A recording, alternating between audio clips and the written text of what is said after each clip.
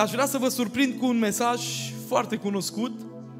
Există riscul, așa, din punct de vedere psihologic, când cunoști foarte bine un text biblic, să intre mintea într-un fel de stand-by și dintr-o dată parcă nu mai prezintă interes nici mesajul, nici mesagerul și nimic.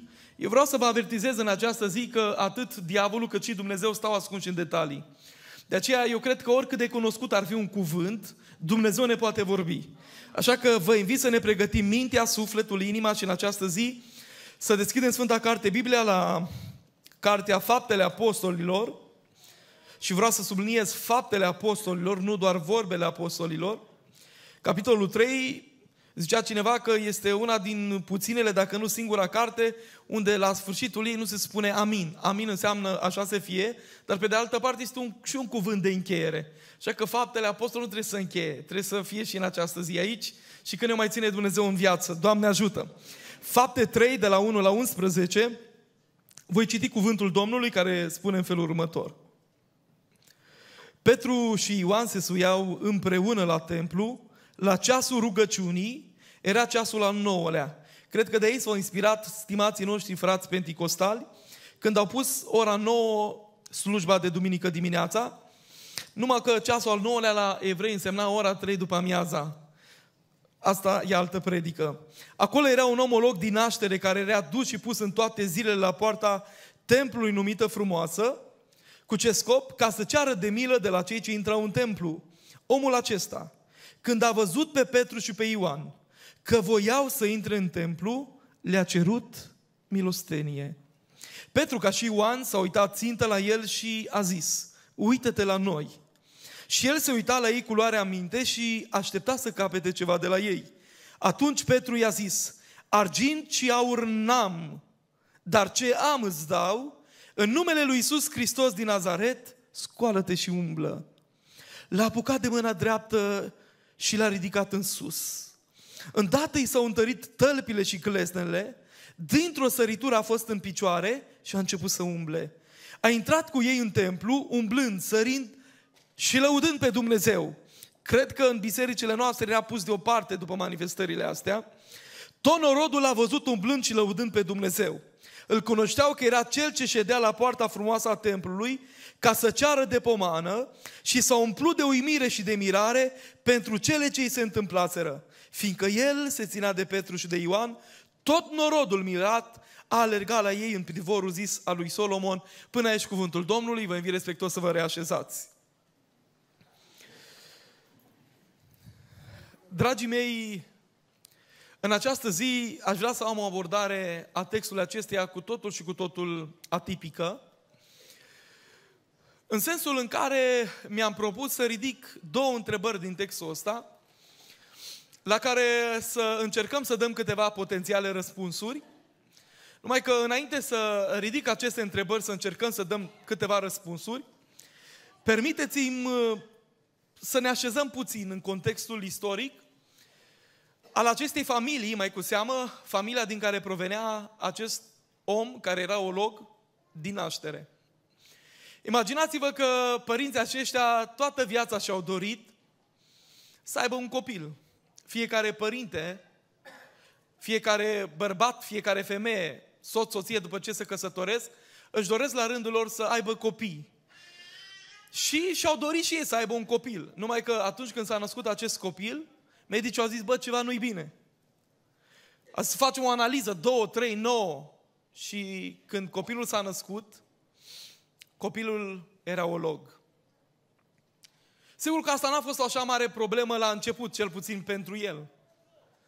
Dar după ce a văzut că pruncul lor a început să facă 2-3 anișori, ceilalți copii începeau să meargă, să alerge, să dea cu piciorul în minge, să meargă prin iarbă, el nu. Pentru prima dată în viața lui, probabil când s-a dus la școală și a văzut că ceilalți copii care se duc în clasa 1, eu știu, ăștia se duc singuri pe picioarele lor, el trebuie să fie adus de cineva într-un cărăcior. Atunci i s-a părut poate pentru prima dată că are o adevărată problemă. Că noi nu ne dăm seama că avem probleme decât atunci când le luăm prin comparație. Noi ne plângem uneori că, nu știu, nu suntem la fel de iscusiți ca alții în momentul în care ne comparăm cu cei mult mai sus decât noi. Noi ne dăm seama că nu suntem la fel de uh, înstăriți, poate din punct de vedere material, când începem să ne comparăm cu Bill Gates, cu dinastia Rockefeller și într-o dată trezește noi un complex de inferioritate. O grămadă de lucruri, atât complexul de inferioritate, dar la celălalt pol și complexul de superioritate, vin în viața noastră prin această procedură numită comparație. Și atunci, ca să fim echitabili în această zi, fiecare dintre noi, dacă diavolul strecoară în mintea noastră un fel de Ă, nu știu, poate nemulțumire, răzvrătire. Doamne, de ce nu sunt ca ala? De ce nu arăt nu știu cum? Sunt o grămadă de uh, motive pe care omul le poate invoca, motive de nemulțumire. Că sunt prea slab, că sunt prea grea, prea ascund, prea înalt. De ce nu am ochi albaștri? De ce am ochii căprui? De ce nu m-am născut la Dublin? De ce m-am născut la Timișoara sau la Târgoviște? O grămadă de probleme. Și când ne comparăm cu cei mai sus decât noi, imediat poate să apară invidia, răzvrătirea, nemulțumirea, lipsa de recunoștință, dar ca să fim echitabili în această zi, vă invit să ne uităm și la celălalt pol. Să ne comparăm cu Africa, cu țările din lumea a treia, lumea a patra, unde e sărăcie, unde e criză și numai așa vom putea noi să ne găsim uh, echilibru în viața aceasta, să ne recalibrăm sufletul și mintea după sfânta voia lui Dumnezeu. Dumnezeu să ne ajute să ne binecuvinteze. Și vreau să vă spun că a trecut timpul. Uh, poate că spera copilul ăsta că într-o zi se va face și el bine. Dar a sperat pentru multă vreme în zadar a ajuns la liceu, iarăși complexul de inferioritate, frustrarea, deja începeau oamenii să vorbească, să privească ciudat spre el, Apoi a urmat momentul când poate a vrut să se căsătorească și știți ce au spus distinsele domșoare? Dacă nu e sănătos, dacă nu ai picioare, dacă nu-i tot în regulă, nu te poți descurca pe picioarele tale, la ce sta lângă un loc toată viața? Și atunci a zis, bă, de căsătorii nu mă pot căsători, de angajat nimeni nu mă angajează, că toți mă întreabă ce experiență ai, poți merge pe picioarele tale, eu nu sunt în stare de nimic. Și până la urmă s-a refugiat într-o zonă pe care noi o disprețuim cu multă indiferență și nonșalanță, fără ca să înțelegem de fapt trecutul, trăirile interioare, povestea, drama acestui om. Și a ajuns, zice Biblia, să cerșească. Sigur, un job între ghilimele, demn de condamnat, mai ales pentru creștinii care știu Că dreptate avea omul lui Dumnezeu, salmistul David, când spunea în psalmul 37, am fost tânăr și am îmbătrânit, dar n-am văzut pe cel neprihănit părăsit și nici pe urmașul lui cerșindu-și pâinea. Dintr-o dată, Dumnezeu ne oferă o garanție a faptului că poate să vină criza economică din septembrie-octombrie, poate să scumpească pâinea să devină un milion, sau ar fi 100 de lei astăzi, poate să se scumpească, să ajungă la o criză energică, energetică despre care oricum specialiștii vorbesc, Dumnezeu prea iubiților lui le va da pâinea ca prin somn. Asta este garanția lui Dumnezeu că indiferent de vremuri și de împrejurări, vă aduceți aminte, acum cred că câteva săptămâni am vorbit la, aici aproape de dumneavoastră la Efrata, la Făget, despre de ce îngăduie Dumnezeu să sece părâul în viața noastră. Și dacă vă aduceți aminte, am plecat de la povestea faptului că omul lui Dumnezeu Ilie, fiind trimis de Dumnezeu să rămână pentru o vreme la părâul cherit, la un moment dat pârâul cherit, zice Biblia că a secat. Măcar că era în voia lui Dumnezeu, măcar că Dumnezeu l-a trimis. Și am ridicat acolo câteva întrebări și doar așa vreau uh, foarte telegrafic să dau un răspuns. Prin momentele de cernere, când seacă pârâul, când lucrurile obișnuite ale vieții, când, nu știu, ești dat afară de la serviciu, când sănătatea nu mai e sănătate, când salariul nu mai e salariu, Dumnezeu totuși își face numele de slavă prin faptul că trimite niște cor pentru Ilie. Unii în perioadă de criză și-au omorât propriul fiu. Pe când Ilie nu intră în disperare, nu intră în depresie, nu are stări de anxietate, nu are atacuri de panică și mai mult decât atât, el și văduva aceea au avut, uh, au avut binecuvântare și belșug în casa lor, în sensul în care n-au dus lipsă de pâinea ce de toate zilele. Slavă Domnului pentru asta! Și vreau să vă spun, dragii mei, mergând din nou la povestea noastră, faptul că locul acesta a trebuit nu spun că îi drept ce a făcut, nu spun că e corect. Nu vreau să fiu avocatul lui în această zi, dar vreau pur și simplu să înțelegem o stare de fapt. A ajuns să cerșească. Și în fiecare zi era dus, pus de către cineva, stătea la poarta templului numită frumoasă și aștepta cu oamenii să-i dea câte ceva. Nimeni nu alege o profesie ciudată, disprețuitoare în viața aceasta, doar că este drag să facă asta viața, contextul, împrejurările te împing în zone în care n-ai fi visat niciodată să ajungi. Și acest om a ajuns aici. Și în acest punct aș vrea în această zi să-mi permite să ridic două întrebări. Prima întrebare pe care vreau să o ridic și la care vreau să dăm câteva răspunsuri în această zi, este următoarea și anume, ce înseamnă să fii olog? Ce înseamnă să fii olog? M-am uitat în sală în această zi și slavă Domnului că toți am venit pe picioarele noastre. Și este un mare har și o mare binecuvântare. Însă eu în această zi n-aș vrea să mă condamne cineva că aș fi cumva tributar sistemului de gândire a lui a părintelui Origen care spiritualiza orice lucru din text. Să știți că și metaforele și spiritualizările în Biblie și-au locul lor. Biblia este plină de poezie și de metafore și dacă ele sunt confirmate de celelalte principii generale ale Scripturii, nu greșești cu nimic.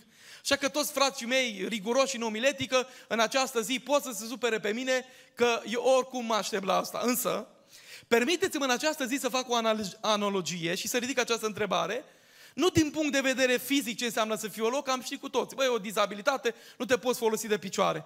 Însă vreau să vedem, din punct de vedere contextual, ce înseamnă să fii olog spiritual. Și primul răspuns pe care vreau să-l avansez în fața dumneavoastră este acesta și anume, o loc spiritual este omul acela care la templu, în prezența lui Dumnezeu, nu poate să vină de unul singur și trebuie adus de alții. Foarte simplu. Ologul spiritual este omul acela care atunci când este vorba să ajungă la templu în prezența lui Dumnezeu, el nu poate prin el însuși, prin acțiunile proprii, să caute prezența lui Dumnezeu, să vină la templu. El trebuie adus de mama. Băi, zice pruncule, hai îmbracă-te că e ora 8, pregătește-ți hainele, ți le-am călcat, hai du-te repede că zice trebuie să fii la biserică. El vine la biserică de gura mamei, el vine la, gura, la biserică de gura tatei. El intră în închinare doar pentru faptul că sunt niște acorduri muzicale care te împing și creează așa o atmosferă emoțională și poți să spui și tu două vorbe la rugăciune. Eu sunt pentru muzică, iubesc muzica, stilul dumneavoastră de închinare.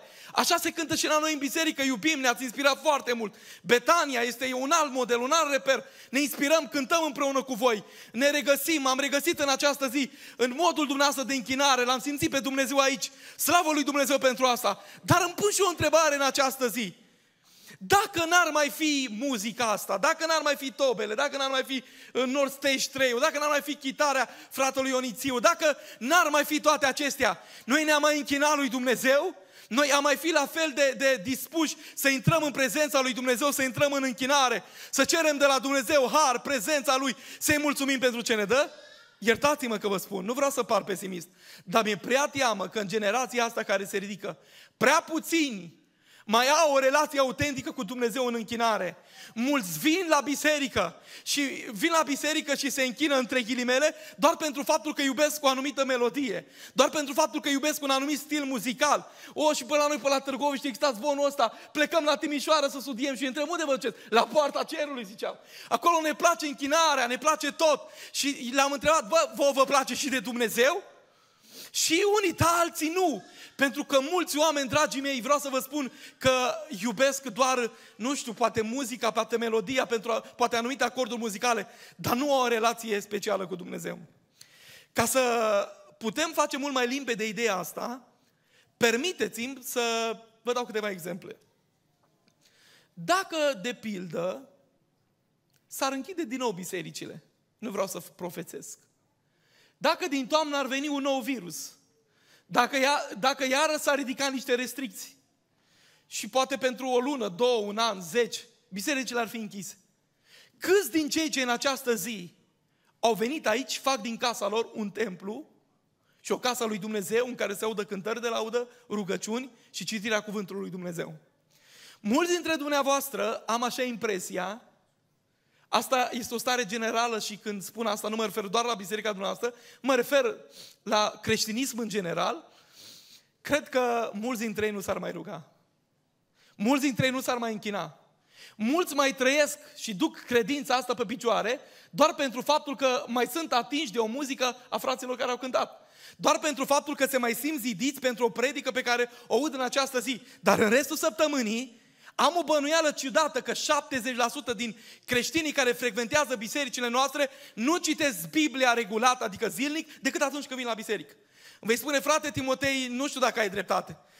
Îmi place să, să cred că n-am dreptate. Dar vă spun că și eu umblu destul de mult și merg și în țară și prin Europa și observ această tendință a multor oameni cu care stând de vorbă, două versete nu știu din Scriptură Și să-ți pocăiți de 10 ani, de 20 de ani, de 30 de ani. Și dacă toate astea ar dispărea, numai, uite, săptămâna trecută am avut vreo 5 zile în fiecare zi de evangelizare în județul Maramureș. Și aveam o zi liberă, luni, am fost împreună cu soția, cu familia și luni eram liber, împlineam noi un număr de ani de căsătorie împreună cu soția și am zis, mă, luni ă, vreau să fim liberi, să ieșim noi doi la restaurant, ne plimbăm prin Maramureș și o să fie totul în regulă. Numai că, fiind în zilele respective la o evangelizare, a venit o soră și ce frate Timotei zice, ne-am întâlnit noi în Franța, îți mai aduce aminte de mine? Când te uiți așa și dai din cap, e clar că nu-ți mai aduce aminte, că se întâmplă să mai uităm și noi. Și nu mi-am mai aduceam exact aminte, sigur că după aceea m-am adus aminte uh, după spuse, după detalii. Și am zis așa, am o dorință, zice. Familia mea, copiii mei pleacă înapoi în Franța joi. Ce era asta sâmbătă, de sâmbătă până joi. Ai vreo zi liberă aici, în zona noastră, Maramureș, să vii și la biserica noastră. Și am zis, singura zi liberă, dar nu liberă, ar fi luni, dar uite, mi-am propus asta cu familia mea și nu cred că voi reuși să ajung. Și mai ales că luna, în general, știu că nu prea sunt slujbe de biserică. A zis, la noi nu e așa, frate, zice. Luni, dacă vii, noi vorbim la noi, e la sat, zice, suna parcă mai descurajator, la noi e la sat, o biserică mică, zice, da, zice, vorbim cu frații, vorbim cu consătenii, e sărbătoare, nu se lucrează și o să vedeți că o să vină oamenii la biserică. Atunci ziceam, bă, ce o să facem? Am vorbit cu nevastă mea, ea știi cum sunt soțiile, bă, știi că noi am plănuit, am zis asta, am zis asta, am zis asta. Dar am zis că ceva e un foc în inima mea. Bă, pun mai întâi de toate lucrarea lui Dumnezeu. Că poate un singur om, dacă se va, se va pocăi, e mai fericit și mai împlin decât faptul că eu mă plimb patru ore la un restaurant, văd două locuri frumoase și povestim. Sigur că nu vreau să sfidăm și nu vreau să riscăm viața de familie, că și asta poate să fie o extremă, dar atunci am simțit că trebuie să fac asta. Am găsit până la urmă înțelegere la nevastă mea și am zis, vin luni la dumneavoastră. Am străbătut uh, din zona unde eram eu până la Homorodul de sus. Deci ați auzit de localitatea asta. Nici eu până n-am ajuns acolo. Și am ajuns acolo. Când am ajuns la biserica aceea, am văzut o biserică mică, dar plină, oamenii mai aduceau scaune, pe la balcoane, peste tot. Am văzut, bă, mă uitam eu unde e chitară, ceva, un acordion, o, o, o orgă, am zis, nimic. Au început oamenii să cânte fără instrumente, fără nimic. Am zis, bă, cred că o să fie un fiasco toată slujba asta, așa m-am gândit eu. E, dar vreau să vă spun că în momentul în care am început să slujesc, Duhul Sfânt al lui Dumnezeu s-a coborât într-un mod cu totul special. Și mi-am dat seama că pe Dumnezeu nu-L aduce neapărat instrumentele, condițiile astea, tehnologia asta care e foarte bună și ne folosim de ea, că toate bune și venite, poate și îngăduite de la Dumnezeu pentru eficientizarea uh, lucrării lui Dumnezeu, însă am văzut că oamenii aia îl iubeau în simplitatea lor. M-am văzut așa ca cu 20 de ani când ne adunam prin case, prin cercuri de rugăciune, așezați pe covoare, ne rugam. Oamenii îl căutau pe Dumnezeu, fără prea multă fanfanoradă, fără prea, multă, prea mult spectacol, fără prea multe din toate astea. Oamenii îl căutau și îl iubeau pe Dumnezeu sincer. Și eu mă întreb acum, noi care le avem pe toate, aer condiționat, tobe, chitară, chitară acustică, chitară bas, de toate. Noi, dacă toate astea ni se, mai, ni, se, ni, ni se pot lua, mai putem, dragii mei, să slujim pe Dumnezeu? Mai, cătă, mai putem căuta prezența lui Dumnezeu în modul în care să simțim realmente cum Duhul Sfânt ne cercetează viețile? Dumnezeu să ne ajute. Dacă nu se întâmplă asta, iertați-mă că vă spun, oricât de sănătoși ne-am crede noi, să știți că suntem ologi spiritual. Aici folosește o diateză pasivă, spune că ăsta nu putea să meargă el la templu, trebuia adus de alții.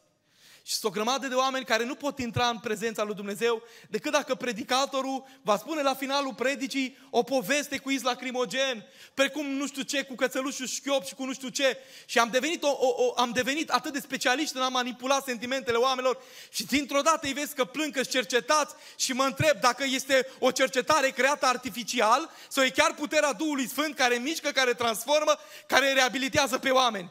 Nu vreau să spun că predicatorii, că și eu sunt un predicator care încerc să predic nu doar minții, sistemului cognitiv, rațiunii și sentimentelor, că noi suntem o personalitate complexă, avem și rațiune, avem și sentimente, avem și voință. Toate fac parte din complexitatea ceea ce este omul. Dar vreau în această zi să vă spun, dragii mei, că de prea multe ori se poate confunda închinarea autentică cu o închinare creată artificial, doar pentru faptul că sunt niște trăiri interioare. În această zi mă rog ca Duhul lui Dumnezeu să ne cerceteze, să ne dea sănătate și vindecare spirituală, ca să putem să căutăm prezența lui Dumnezeu și să nu trebuiască să fim aduși de alții, să nu fie vedete și cântăreți specialiști, predicatori iscusiți, ca să putem veni la biserică, ca să putem să ne rugăm, ca să putem cânta și să fie o singură dorință, dorința de întâlnire cu Dumnezeu, dorința ca Harul Duhului Sfânt să ne atingă și prezența lui Dumnezeu să ne vorbească fiecare dintre noi. O slavă Domnului pentru asta.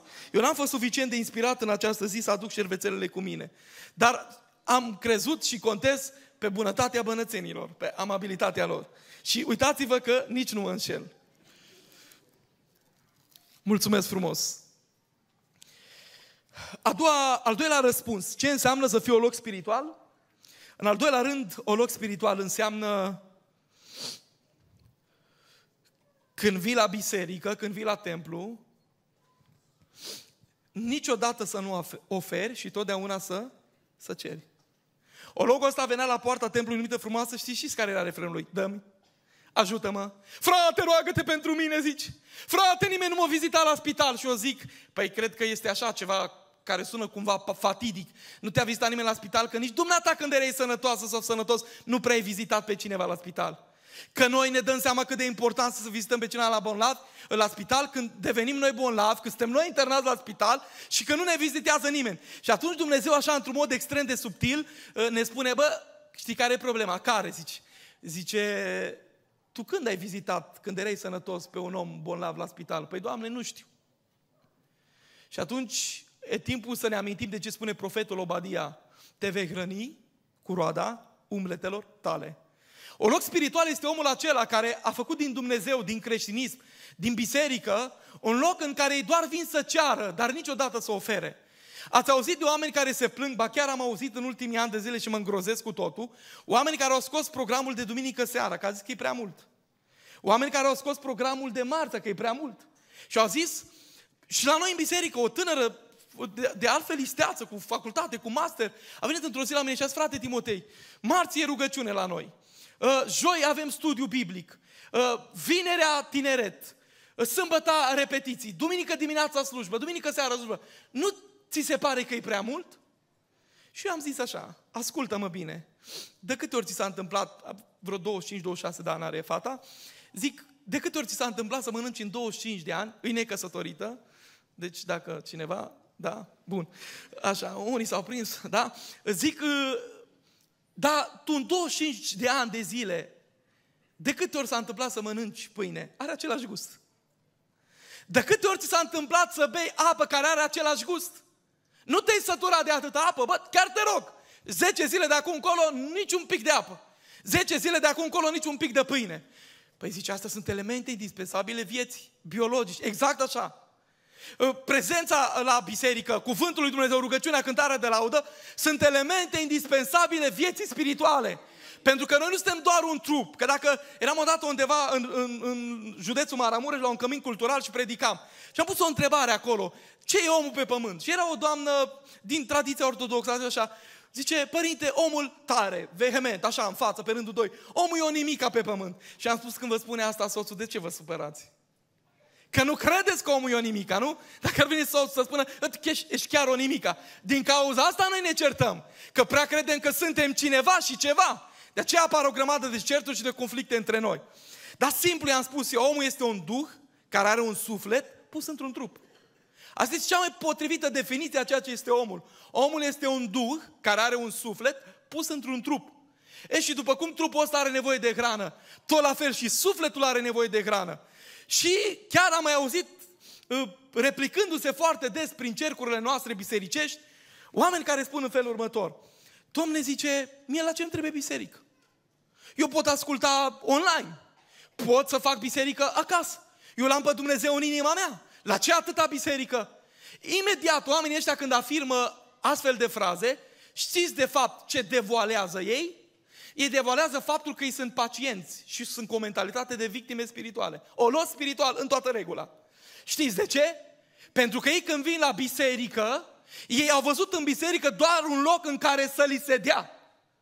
De când vin la adunare, nu vin în primul rând ca prin cântarea fratului eu să mă ridic, Eu când vin la adunare, nu vin în primul rând să mă duc la frați și la surori să le zic, rugați-vă pentru mine, vizitați-mă la spital, postiți pentru mine, ajutați-mă, dați-mi sfaturi, cu ce puteți, cu ce mă ajut. Nu, nu, nu, ascultați-mă bine. Eu când vin la adunare, în primul rând vin la adunare și mă rog și spun așa, Doamne, cu ce pot fi eu de folos pentru altul? Cum pot eu prin predica mea să zidesc pe cineva? Prin cântarea mea de laudă să pot să îl ajut pe om să intre mai bine în prezența ta? O, oh, câte răni nu pot fi înghesuite, ascunse în inima asta noastră. Și Dumnezeu printr-o cântare de laudă, printr-o predică, printr-o rugăciune, printr-un zâmbet, printr-o îmbrățișare, prin faptul că îl prinzi pe cineva de mână, îi dai o bătaie pe umăr și spui te-am văzut în această zi la biserică că, că ai plâns. Nu știu care e problema, nu știu prin ce treci. Nici nu trebuie să știu, dar un singur lucru vreau să spun. Am să continui să mă rog pentru tine. Când noi, în calitate de creștini, ne vom maturiza din punct de vedere spiritual și ne vom vindeca odată pentru totdeauna, să nu mai vedem în biserică, în creștinism, în Dumnezeu, doar un Dumnezeu și o biserică care trebuie să ne dea. Asta e mentalitate de tip pacient. Vă dau o veste bună. Dumnezeu vrea pe toți doctori. Alții să aibă nevoie de rugăciunea noastră. Alții să, să vină să spună, oh, eu am nevoie de sprijinul tău. Și dumneata să fie acolo să ajuți. Omul o loc spiritual niciodată nu oferă. El mereu vine să ceară. Stă cu mâna întins. De eu de când m-am întâlnit cu Dumnezeu cu adevărat și Dumnezeu m-a umplut de Duhul Său cel Sfânt, de o grămadă de ori am avut momente când am vrut să renunț. Și acum vreau să fac o confesiune în fața dumneavoastră dacă o fi bine, dacă o fi rău, eu nu știu să fiu altfel decât sincer. Eu toată viața l-am iubit pe Dumnezeu. În adolescența mea, Domnul Dumnezeu m-a botezat cu Duhul Sfânt, m-am îndrăgostit de Biblie, de Dumnezeu, mă duceam cu Biblia la școală. Începusem să iau stradă cu stradă să le vorbesc la oameni despre Dumnezeu. Aveam mai multă râvnă decât pricepere, câteodată acum mă gândesc și mi-e teamă că s-ar putea să fie mai multă pricepere decât râvnă. Dar mereu mă rog lui Dumnezeu să-mi dea pasiunea și râvna de a sluji pe El cu toată inima mea. Și vreau să vă spun, dragii mei, că la un moment dat m-am hotărât și am zis, bă, eu nu mă duc la facultatea de teologie. Eu mă duc la facultatea de drept, pentru că am avut în casă tata pastor, bunici conducători de biserică, proroci, tata pastor, mama proroc, cum al lui Dumnezeu. Am zis, bă, eu nu vreau să fiu păstor. Dezlujit îl voi sluji pe Dumnezeu toată viața mea.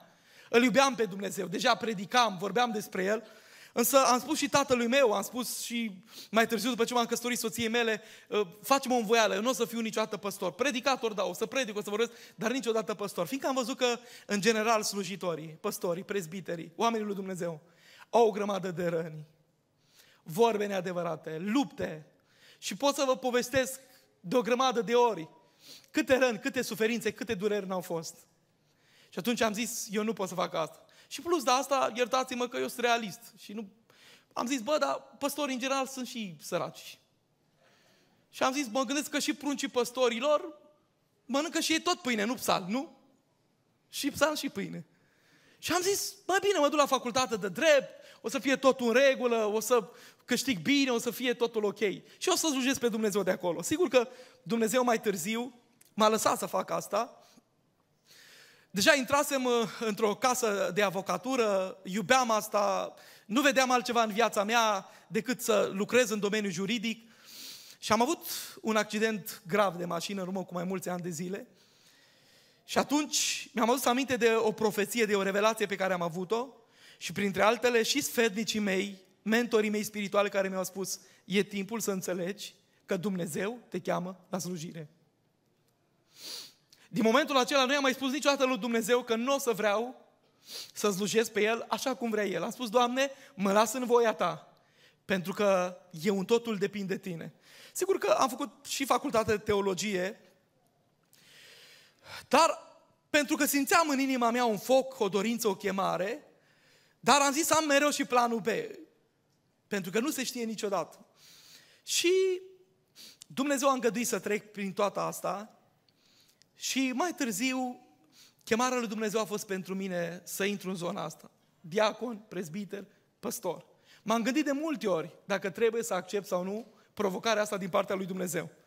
Dar până la urmă am învins vocea Duhului Sfânt al lui Dumnezeu.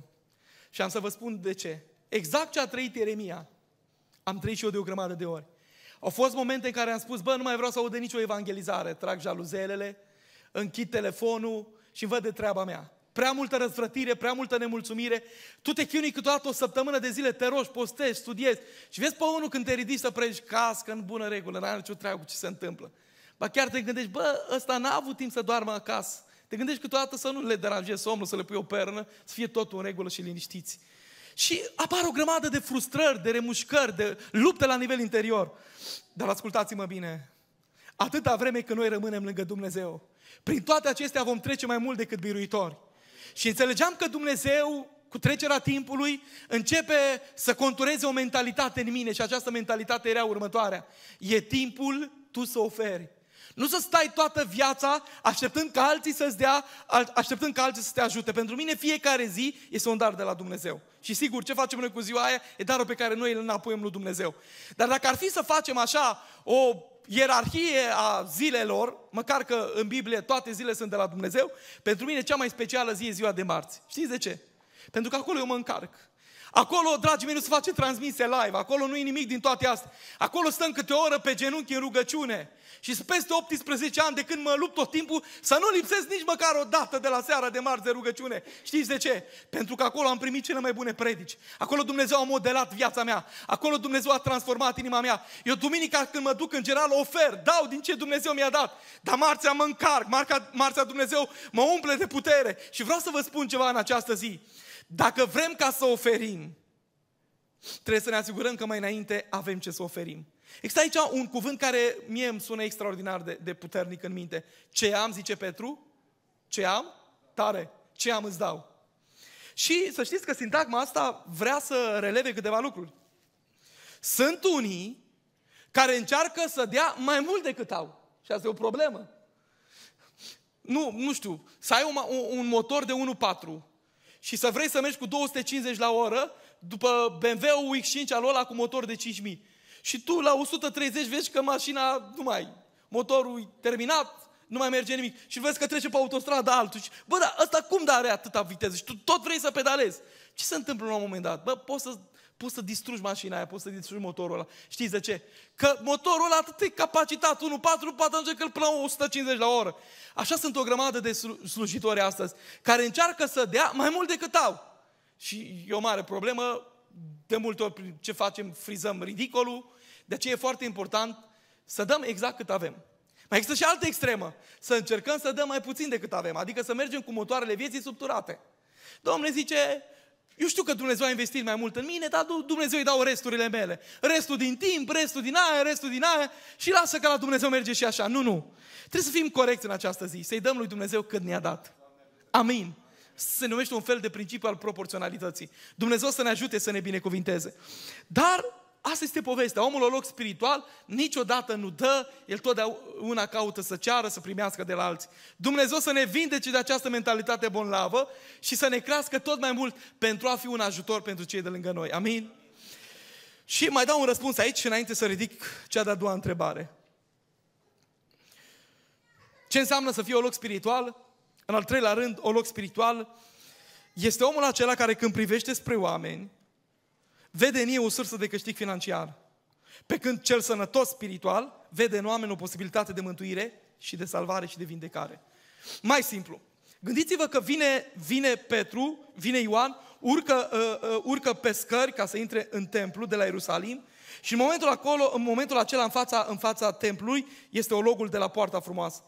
Și asta când îl vede pe Petru și pe Ioan, știți ce vede în acești doi oameni? O sursă de câștig. Bă, zice, aștept să capă ceva de la ei. Bă, o fi ceva. Uh, Petru și Ioan, știți ce văd ei amândoi în ologul ăsta? Văd un om care are nevoie de mântuire, văd un om care are nevoie de vindecare, văd un om prin care Dumnezeu își poate face slava sa, văd un om prin care Dumnezeu poate, poate programa o mare evangelizare. Pentru că noi dacă ar fi să facem o evangelizare, cam știm cum nu programăm evangelizare. Bă, zice ce evanghelist când, chemăm, ce cântăreți cântăm, împărțim pliante, facem uh, uh, un pic de, uh, eu știu, cum se cheamă asta? Reclamă, nu? Cam așa? și anunțăm, bă, veniți că o să fie o evangelizare extraordinară. Dar Dumnezeu a zis, o să vedeți voi cum fac eu evangelizare. Ce cine e cel mai cunoscut om din Ierusalim? Păi ologul ăsta îl știu și bunii și aia mai puțin buni. Și răi, și păcătoși, și sfințiți, și nesfinții. Toți îl știau. Ăsta e cercetorul de la poartă frumoasă. Nu, cu asta o să fac eu o mare evangelizare. Că ceea ce pentru om pare că e nepromițător, ceea ce pentru om pare că este uh, asurzitor, uh, care nu poate niciodată să, să facă ceva constructiv. O, Dumnezeu zice, din cele mai slabe lucruri, eu pot să le fac de rușine pe cele înalte, ca să-mi arăt slava. Slavă Domnului pentru asta. Și Domnul zice, uite ce am să fac. Am să-l vindec pe ologul ăsta, toți o să audă și după ce Petru începe să predice două vorbe, ce se va întâmpla? Încă 2000 de oameni se mai adaugă, că s-au pocăit în fapte 2, 3000, acum după predica asta și vindecarea asta, încă 2000, deja 5000 de suflete. Slavă Domnului pentru măreția în care El gândește planurile de mântuire și de salvare pentru om. Total neașteptat. Însă, nu vreau să mă depărtez de ideea faptului că asistăm la un, conta, un contrast de percepție aici. Pe de o parte, ziceam, cumva anticipativ, că Petru vede în el un om care are nevoie de mântuire și de vindecare, iar celălalt vede în el un fel de sursă de câștig financiar. Și vreau să mai spun încă o dată foarte răspicat. Există un trend în ultimii ani pe care eu nu l-am cunoscut decât acum în ultimii ani alergând în lucrarea lui Dumnezeu. Să vedem în oamenii de lângă noi un fel de sursă de câștig financiar. Și mulți au pus pe primul loc câștigul financiar mai presus de mântuirea sufletului omului. Am auzit personal de oameni care au ajuns să pună, iertați-mă, tarif și să zică vin să-ți predic la evangelizare dacă îmi dai atât. Vin să-ți cânt dacă nu știu când ne înțelegem la preț. Cineva să spera pe mine? Băi, nu despre voi era vorba, lăsați microfonul în parte, glumesc. Dar vreau să vă spun în această zi că am ajuns cu trecerea timpului, deci nu e nimic regizat ca să nu... Deci s-a întâmplat. Și este efectiv asurzitor Faptul că mulți oameni văd în lucrarea lui Dumnezeu doar un fel de sursă de câștig financiar. Dragii mei, ascultați-mă bine ce vă spun în această zi. Că noi ne pierdem obiectivul spiritual și anume mântuirea, vindecarea, restaurarea celor căzuți. Harul lui Dumnezeu pleacă de la noi și noi nu devenim decât niște ologi spirituali, niște bolnavi.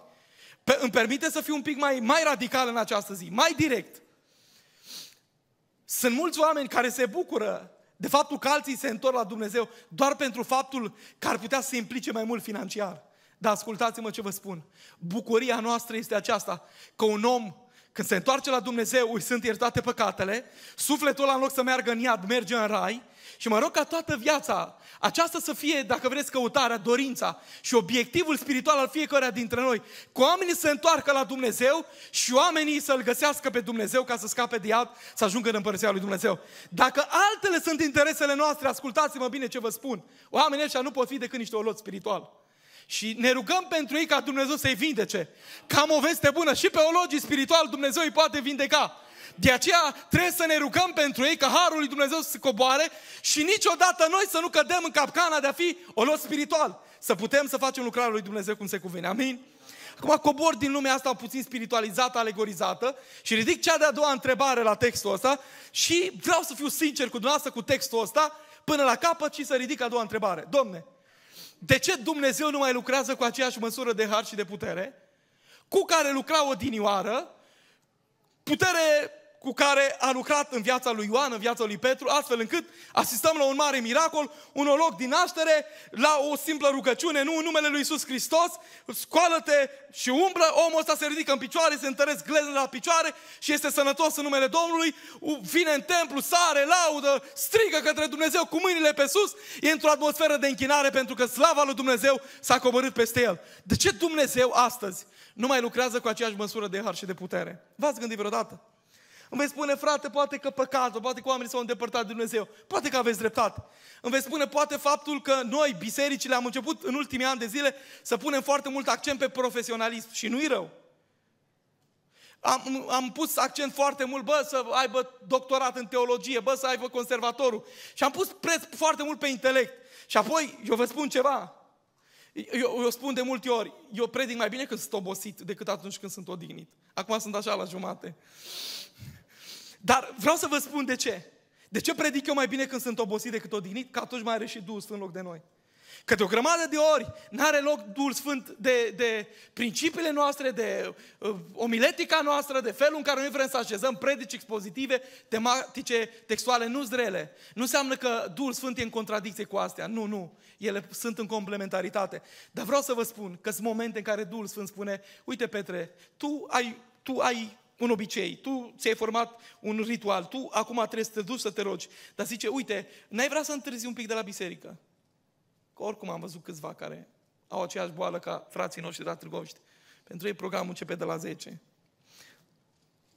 Și zice, cum adică? Păi uite, acum vreau să te oprești în dreptul locului acestea și să stai de vorbă cu el, fiindcă eu vreau să fac ceva cu totul și cu totul neașteptat. Mai are loc biserica de așa ceva? Să lase loc Duhului Sfânt al lui Dumnezeu să lucreze, să ne surprindă, să schimbe, să transforme vieți. De o grămadă de ori ne-am băgat în programe rigide, foarte bine așezate uh, și mă întreb, pe unde mai lăsăm loc Duhului Sfânt? Chiar și predicile noastre așezate, bă, acolo e punct, acolo e ilustrație, acolo e virgula. O, oh, nu știu dacă reușesc vreodată, am văzut că unii reușesc să aibă aceeași predică cu aceleași idei în mai multe locuri. Băi, eu nu, că eu am, pot enunța doar principiile același, dar mereu mă rog și zic, Doamne, interpretarea ține de biserică, de nevoia bisericii și mă rog ca Tu, Duhul Sfinte, mereu să lași o inspirație supranaturală. Pentru că nevoile de la poarta celui Timișoara nu sunt aceleași cu bise- nevoile bisericii Cetatea Sfântă de la Târgoviște. Și Dumnezeu mereu trebuie și așteaptă de la noi să lăsăm locul acela în care Duhul Sfânt să lucreze în mod supranatural, să ne surprindă. N-ați vrea în această zi să ne surprindă Duhul Sfânt. N-ați vrea ca în această zi Duhul Sfânt să facă o lucrare de slavă, să mai mânghe, să mai cerceteze, să vindece, să mântuiască dacă este nevoie. Să lăsăm loc Duhului Sfânt, că asta cântăm de multe ori. Lăsați Duhul Sfânt să lucreze, să-ți hotărâți? Vreți să lăsăm în această zi? Dacă trecem de programul 12. Ce ziceți? Doar fratele Nelu Filip a zis tare amin, că s-a gândit că urmează după mine să facă concluzia. Glumesc. Dar vreau să vă spun, dragii mei, că asta este marea problemă a vieții noastre. Că Dumnezeu nu mai lucrează cu aceeași măsură de putere. Și vreau să dau încă trei răspunsuri la această întrebare. Ca Dumnezeu să lucreze cu putere, să mai vedem între noi bolnavi vindecați, canceroși vindecați. Și acum o spun cu toată sinceritate.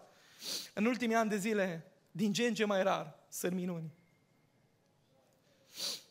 Ba mai mult văd și eu pe internet și mă aud pe unii alții care, chiar unii mi-au zis, vreau să venim la biserică la dumneavoastră. Și m-am interesat un pic, mă, zice, știi că ăla zice că e un fel de taumaturg, ăsta face minuni, ia picioarele, le trage, totul regulă. Și m-am uitat eu și am întrebat și pe alți slujitori și a zis, mă, ăștia nu fac minuni, să fac de minune, zice.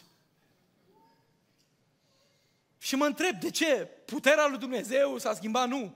Nu mai vrea el să lucreze, ba da, dar care e problema? Și vreau în această zi să ne uităm la ceea ce avea Petru și Ioan, că i-au zis, ce avem îți dăm. Și haideți să vedem ce aveau ei, să vedem, să ne uităm la averea lor și apoi să tragem o concluzie dacă noi în această zi suntem bogați sau săraci.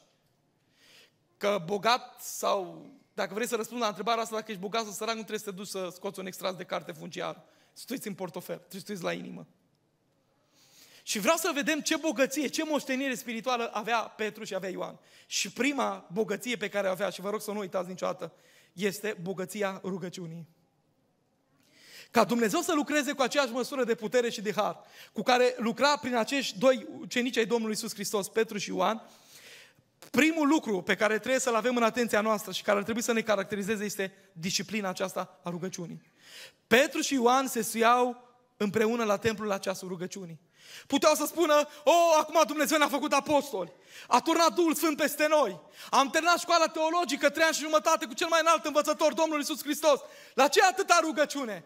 Că și noi de o grămadă de ori, parcă nu, dacă salariul e salariu, dacă mașina e mașină, casa e casă, toate merg bine, la ce atâta rugăciune marțea să venim? Că am o bănuială ciudată că marțea la rugăciune nu sunteți tot la fel de mult cât sunteți în această zi aici.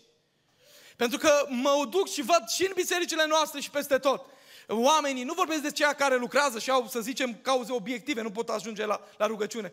Dar sunt mulți oameni care astăzi nu mai cred în puterea rugăciunii.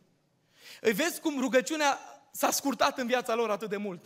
Am devenit maestri în a vorbi. Despicăm firul în patru. Suntem ca la coafor, facem din Biblie un fel de coafor. Despicăm firul în patru și începem să explicăm noi ce se întâmplă în textul ăla. De multe ori, cred că și Pavel, dacă era, sau Petru, sau Luca, ar rămâne uimiți că nici ei nu s-au gândit la câte noi încercăm să scoatem tot felul de filozofii de viață, doar ca să impresionăm. Bă, să mai ținem audiența atentă, că nu mai știm cu ce să o ținem atentă, să scoatem ceva nou. Cu un spirit de, de, de, de eleni și de greci în toți. Vrem ceva nou, frate, ce vrem ceva nou. Mereu ceva nou. Și e riscul ăsta când predici aproape în fiecare zi, bă, ce să mai pot spune? Dar vreau să vă spun ceva în această zi. Oamenii nu au nevoie întotdeauna de o prăjitură nouă, oamenii au nevoie de pâine. Și de 100 de ori, dacă veți auzi predicându-se din faptele Apostolului, capitolul 3, dacă Duhul Sfânt e pre- peste predicatorul la care vorbește, Duhul Sfânt mereu ne atinge, Duhul Sfânt mereu ne hrănește, Duhul Sfânt mereu ne dă puterea să ne ridicăm, să facem lucrarea lui Dumnezeu. O, glorie lui Dumnezeu pentru asta! O, slavă lui Dumnezeu pentru asta! Dar aici s-a pierdut la noi ceva, dragii mei. S-a pierdut disciplina aceasta a rugăciunii. Mă uit și văd de o grămadă de ori și în viața mea. Și într-o zi Dumnezeu mi-a vorbit prin pruncul meu care, nu știi, foarte alipit de taică Noi, câțiva ani de căsătorie, n-am putut avea copii și după ce a venit printr-o profeție, printr-un miracol, a fost cu adevărat o binecuvântare. Și l-am ținut la pieptul nostru, am zis și alții, bă, nu-l țineți cu voi, bă, l-am ținut, că mi-e drag, e frumos, ce poate să zic un părinte, nu? Dar e frumos. Și ne-am lipit cu inima de el cu totul.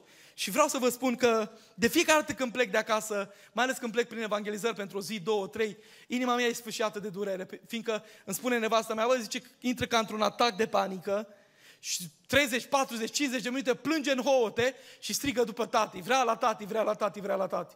Și într-o zi Duhul Sfânt mi-a spus mie, Ți-aduce aminte când ai început să predici pentru prima dată? Știi ce zicei? Vreau cu tine tata, vreau cu tine tata. Tremurai că urma să intri la predic.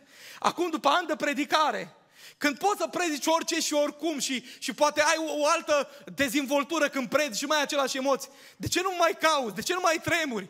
De ce nu mai ai aceeași emoție sfântă? Să te rogi să spui, Doamne, eu mi-am făcut predica, Doamne, eu mi-am pregătit ideile. Dacă nu vii Tu cu mine la învoane, vai și amar de viața mea. Și Duhul Sfânt îmi vorbea prin el și zice, uite, asta ați pierdut voi, ați pierdut dependența de mine. Crezi că vă pricepeți, că știți, oh, dar trebuie să vă demonstreze viața că niciun lacă din lumea asta nu se poate surpa decât cu puterea rugăciunii. Cine mai crede asta astăzi? Nu, frate, zice, de-aia am studiat, de-aia am serviciul ăla, de-aia am de toate. Că mă descurc, că pot, că pe picioarele mele. Nu! Cel ce ne ține pe toți în picioare este unul singur, Dumnezeu. De aceea mereu vreau să strig și eu cum striga Iov. Eu aș alerga la Dumnezeu. Mai vrea să alerge cineva împreună cu mine? Mai vrem să căutăm fața lui Dumnezeu? Mai vrem să căutăm rugăciunea în viața noastră? Asta este ceea ce ne lipsește. E cenușăreasa bisericii, dacă vreți, rugăciunea. Din ce în ce mai puțini oameni se roagă.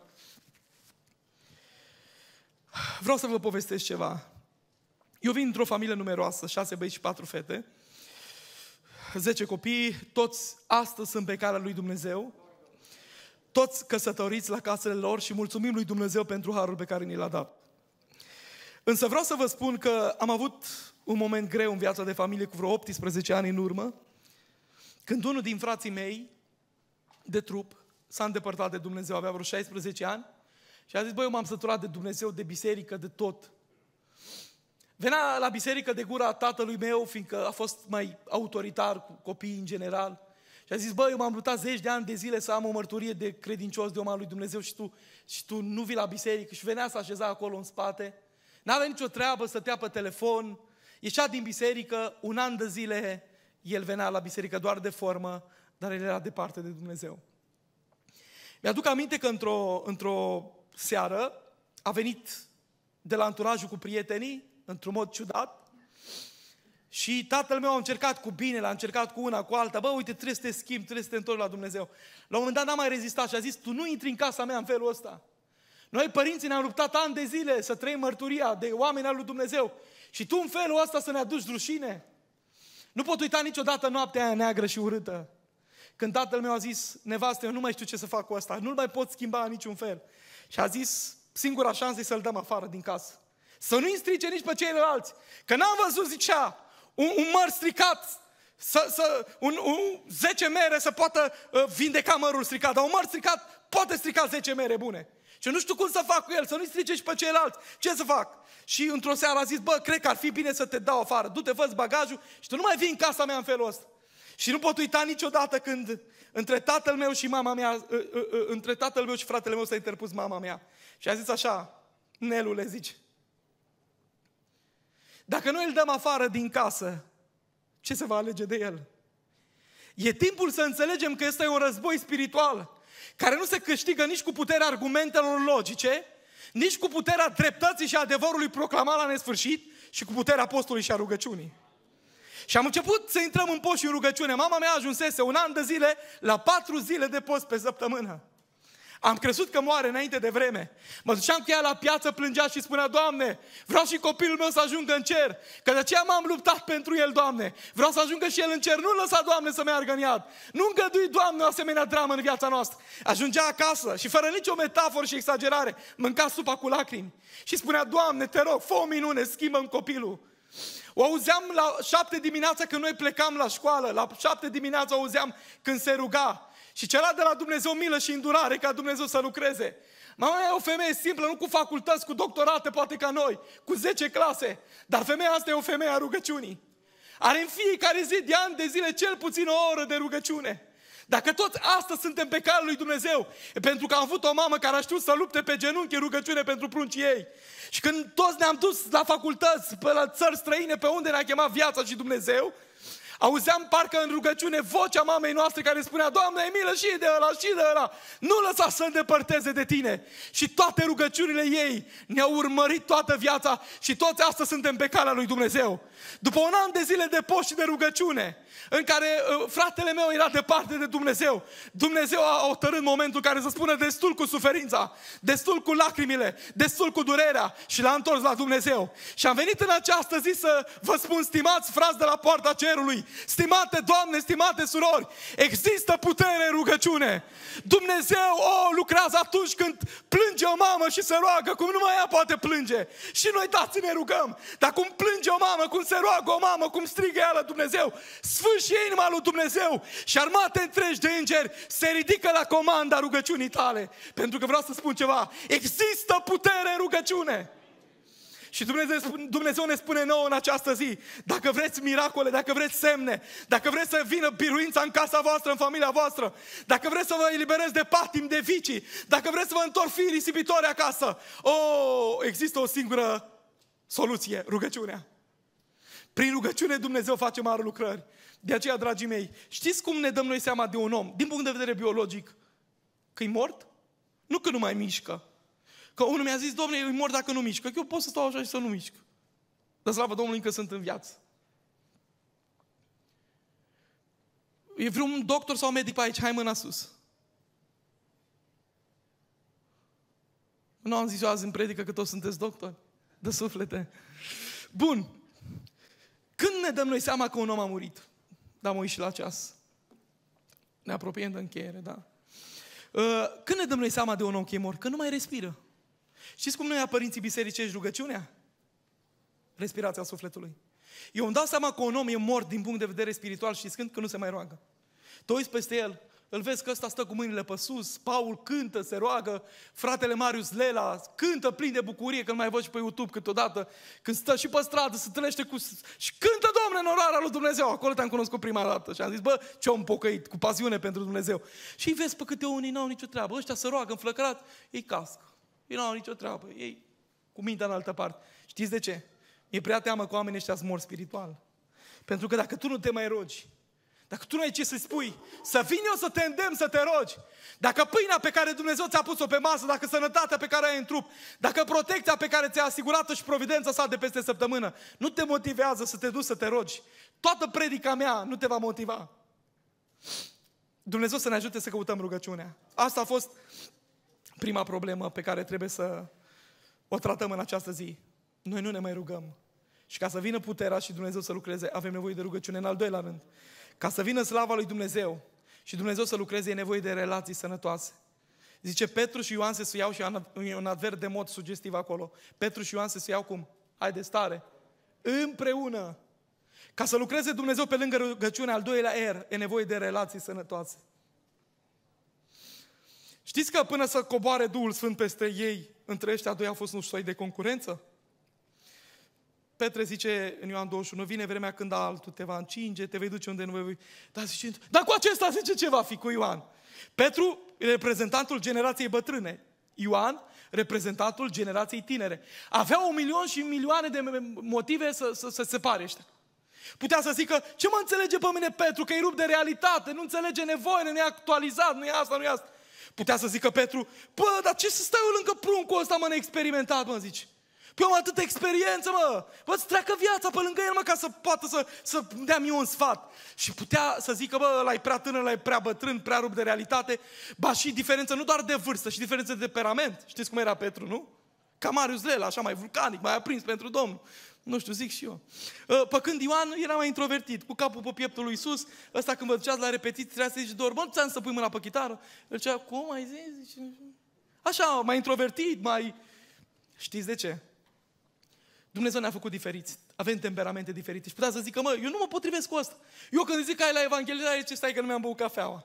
Bă, nu vezi că întârziem de la adunare. Acum eu, eu mă autodescriu. Bă, vină repede că întârziem. Nu, el zice, așa, în liniștea lui. Și putea să zic eu, cu ăsta nu sunt compatibil. Și cu toate astea, Petru și Ioan se suiau împreună. Relații sănătoase. După ce Duhul Sfânt a coborât peste ei, pentru că prin asta noi dovedim că suntem un plus de Duhul Sfânt. Doar că țipăm și ne rugăm și vorbim în alte limbi doar. O, oh, dacă reușim să stăm împreună, în ciuda diferențelor dintre noi, să spunem, noi avem același Dumnezeu și putem să avem relații sănătoase. Mai mult decât atât, zice uh, Petru când se întâlnește cu ologul, zice, aur și argint nu am, dar ce am îți dau. Și parcă l-aș fi văzut pe Ioan ăsta mai extaziat, mai energic, să-l trag un pic de mână. Bă, dar de ce nu zici și tu la plural și vorbești la singular? Zice, acum amândoi zicem, hai, doi, trei și zice, în numele Lui Iisus Hristos, coală-te și umblă. Ca să fie și El în lumină. Nu. Ioan a înțeles ceva. Că uneori Dumnezeu folosește vioara întâi, alteori folosește vioara a doua. Și vai de noi, dragii mei, dacă nu știm să dăm cinste și nu știm să respectăm chemarea și lucrarea la care cei de lângă noi au fost chemați. Petru a hotărât Dumnezeu să-l folosească în calitate de vioară întâi. Și a zis, acum Petre, tu e momentul să iei rolul și să spui, uite ce am eu, îți dau în numele Lui Iisus Hristos, ridică-te și umblă. Și îl văd dintr-o dată pe Ioan că trece undeva în linia a doua, precum hur de odinioară, din Exod 17, dacă vă aminte tablou cu refidim. Și trece în linia a doua. Și el nu zice ce mă țineți în linia a doua. Dacă mă mai țineți în linia a doua, eu plec din biserica asta, am deschis biserica mea, am deschis o altă organizație, că parcă toate sunt la mod acum. Nu, ascultați-mă ce vă spun, dragii mei. El a spus, nu contează pe cine folosește Dumnezeu, dar numai să lucreze Dumnezeu. Că din cauza asta a slăbit puterea bisericii. Că fiecare dintre noi căutăm locuri de cinste. Bă, cine să fie prima poziție? Chiar asta contează? Vreau încă o declarație sinceră să fac. Tatăl meu are 10 ani de când nu mai predică în adunare. Conduce, dă îndemnul, sfătuiește, vine, conciliază. Dar de 10 ani el nu mai predică să aibă predică de 50 de minute. Și a spus, bă, dacă Dumnezeu a ridicat pe alții mai buni, eu de ce? Eu de ce să țin? Că dacă prin asta Dumnezeu se zidește și uh, Dumnezeu zidește biserica și eu bat apa în piu la nesfârșit și, și nimic nu înțelege biserica și, și nu sunt acolo ceea ce trebuie, la ce în fiecare zi eu să, să dărâm în loc să construiesc? Sunt alții mai buni. Ascultați-mă bine ce vă spun în această zi. Dumnezeu are vioara întâi, are vioara doi. Are învățători, are evangeliști, are proroci, are cântăreți. Trebuie să respectăm chemarea fiecăruia. Pentru că asta ne spune Dumnezeu în această zi. Și zici ce mă bucur, în această zi am văzut generația tânără cu generația în vârstă lucrând. Într-o cooperare extraordinară. Și e o ilustrație în Biblie, vă aduceți aminte când Domnul Dumnezeu, prin Fiul Său Iisus Hristos, face o minune undeva în pustie, înmulțește la 15, 20 de mii de oameni cât au fi fost acolo, că erau numai 5 mii de bărbați, la toți le dă pâine. Știți de ce? Pentru că există acolo un detaliu. Sigur, iarăși facem un artificiu teologic. Pruncul ăla care avea pâinea și peștii reprezintă generația tânără care are energia, care are proviziile. Petru reprezintă generația în vârstă care are autoritatea și experiența. Și s-a dus și a zis, Petre, ai proviziile, zice, poziția o am, autoritatea o am, experiența o am, dar nu mai am energia tinereții. Nu ce, dar are pruncul ăsta, zice, 5 pâini și 2 pești. Și amândoi s-au întâlnit. Generația bătrână cu generația tânără dă mână de pace și se unesc în ce punct? În punctul numit Iisus Hristos. Și când pui nevoile tale la picioarele lui Iisus Hristos, știi ce se întâmplă cu biserica? Toată biserica, poarta cerului, pleacă sătul acasă. Pentru că numai așa lucrează Dumnezeu când relațiile sunt sănătoase. Nu contează, Doamne, nu m-a pus la îndemn, fratele. Nu contează, n-a fost vremea. Să făcea vreun miracol dacă te punea pe tine la îndemn? Dacă te punea pe tine în această zi să cânti o cântare, să despica cerul în două și înviau morții din morminte? Dacă așa a ales Dumnezeu, dacă așa a fost călăuzirea Duhului Sfânt, o, bucură-te și spune, Doamne, n-am fost azi pe scenă, n-am cântat la microfon, n-am spus un îndemn, dar din bancă m-am rugat pentru ei și am zis, Doamne, lasă ungerea Ta, Doamne, lasă puterea Ta, Doamne, lucrează Tu. O, și slava lui Dumnezeu a coborât. Dar știți cum sunt astăzi mulți în biserici? Bă, să greșească fratele Timote, zice, bă, că o spune eroare să nu mai pună fratele Nelu fiind la învon data viitoare. Să găsim imediat nod în papură, bă, uite asta, asta. Oh, cei care sunt cu Spiritul Duhului Sfânt în ei, ei mereu caute în dragoste să acopere, să se roage, toarnă, Doamne, putere, toarnă, Doamne, har, folosește, Doamne, păsora, oh, dă mai multă ungere, precum atunci când s-a mutat Spurgeon, nu? Vă aduceți aminte? În biserică și erau alți doi păstori. Și ăsta a zis, bă, cum la Spurgeon vin oameni să pocăiesc biserica se mulțește. Și atunci Domnul a zis așa, roagă-te ca Domnul să-i dea mai mult harul Spurgeon, atât de mare, încât undele unul să dea peste să ajungă și la bisericile voastre concurență între biserici. Unde mai mulți, unde mai puțin, unde mai harul. Nu, nu. Roagă-te pentru toate bisericile. Noi nu suntem în concurență. Noi suntem parte a aceleași trup numit Biserica lui Dumnezeu și toți luptăm cu același deziderat să ajungem sus în cer la Dumnezeu. Dar mi-e prea teamă că mulți dintre noi am pierdut acest scop. Pentru că atunci când noi amândoi ne-am pocăit și ne-am întors la Dumnezeu, aveam un singur scop, să ne pocăim, să ne mântuiască Dumnezeu viețile, să ne ierte păcatele. A trecut timpul și ne-am săturat de poveștile astea, așa le numim. Ce Dumnezeu, ce biserică, ce cer? Până la Dumnezeu te mănâncă sfinții. Și am început să ne mâncăm unii pe alții, să căutăm poziții și scaune și legitimați și locuri și una și alta și nu mai căutăm pe Dumnezeu cel adevărat. Dacă Dumnezeu vrea, ți le dă și pe astea, credeți-mă. Și Dumnezeu le va da. Atâta vreme când noi vom lupta să avem ce? Relații sănătoase în frica lui Dumnezeu. Și vreau să închei și vreau să vă invit să ne pregătiți să cântăm un cântec. Mulțumesc pastorul dumneavoastră că mi-a lăsat libertate de plină în această zi. Ca Dumnezeu să lucreze pe lângă rugăciune, pe lângă relații sănătoase, ultimul gând este acesta. Avem nevoie de receptivitate la șoapta Duhului Sfânt. De câte ori nu trecea Petru și Ioan, de câte ori nu fi trecut pe lângă o logost. Mereu, tot trecea, tot trecea, tot trecea. Dar la un moment dat a zis Duhul Sfânt, bă, acum e momentul. Ei, în ziua asta vreau să fac o lucrare, în ziua asta vreau să fac un miracol. Ia oprește-te, Petre, și spune omul ăsta, scoală-te și umblă. Doamne, dar știi că eu sunt obișnuit să vin la biserică, oamenii știu că nu lipsesc, că nu întârzi, că nu zice. Acum e momentul când tu să fii receptiv la șoapta Duhului Sfânt. Noi mai receptivi suntem la copilul ăla când de telefonul și toți mutăm privirea de la predicator la copilul ăla. Noi suntem receptivi la șoapta Duhului Sfânt. Dar când venim la adunare, mi-e dor de ziua aceea în care nu ne vom mai uita la frați, bă, cum s-a îmbrăcat, dacă îi stă bine, dacă și-a potrivit fusta cu baticul sau cu pantofii, cu ce s-o potrivi, cu reaua, cu pantofi. Bă, mi-e dor de ziua în care venim la adunare, cu ce fratele Paul aici. Bă, nu să fie spectacol, bă, să ne închinăm cu toții, să stăm ancorați, lipiți. Să spunem, Doamne, lucrează, vorbește, cercetează. Suntem aici lipiți să fim receptivi la șapta Duhului Tău. Ce ai de schimbat la noi? Ce ai de schimbat la familia mea, Doamne? Ce vrei să-mi spui? Și credeți-mă că Dumnezeu va face de fiecare dată. Dar pentru asta mai sunt oameni receptivi la glasul Duhului Sfânt? Predica mea din această zi a luat final. Vă invit să vă ridicați.